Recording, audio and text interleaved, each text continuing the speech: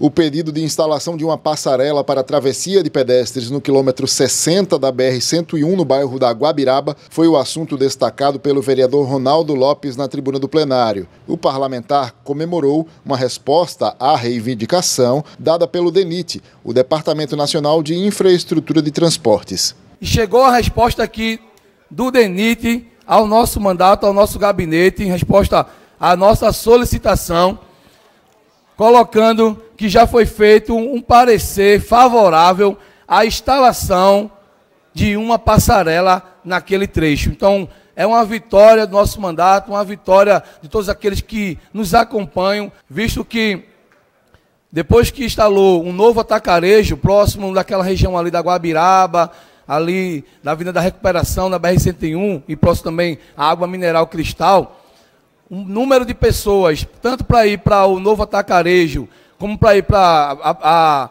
a, integração da macaxeira, se dirigir às faculdades, ao seu trabalho, aumentou muito.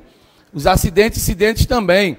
E nós fomos lá, fizemos um vídeo, nós fizemos uma solicitação ao DENIT solicitando a instalação de uma passarela na Avenida da Recuperação, na BR-101 Norte.